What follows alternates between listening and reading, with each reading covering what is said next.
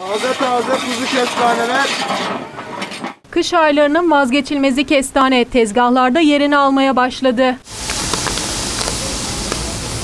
Lezzetli olmasının yanı sıra çok da sağlıklı ve besleyici bir yemiş olan kestane, düşük yağ ve yüksek nişasta değerleriyle diğer fındık türlerinden farklama, ufalanan tatlı dokusu ile hafif bir lezzetti. Taze taze kuzu kestaneler. Sezonun ilk hasadı yapılan kestaneler, köşe başlarında kurulan kestane ocaklarında pişirildikten sonra seyyar tezgahlarda kilogramı 80 liradan satılıyor. Kış ayları geldi ve özellikle Kahramanmaraş'ta da kış aylarının vazgeçilmez lezzetlerinden bir tanesi olan kestanelerde tezgahlardaki yerini aldı. Evet şimdi bir esnafımızın yanındayız. Kestane satışları ile ilgili.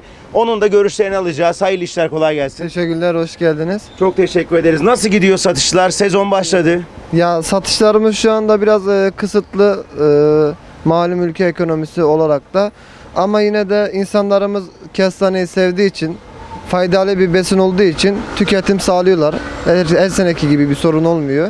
Satışlarımızda herhangi bir sorun yok şimdilik. Peki fiyatlar nasıl? Vatandaşlar fiyatları nasıl karşılıyor size karşı? E, fiyatlarımız geçen yıla bakarak e, bu yıl biraz yüksek, e, her şeyin yüksek olma sebebiyle pişmiş kestanemiz 80 TL, çiğ kestanemiz 50 TL.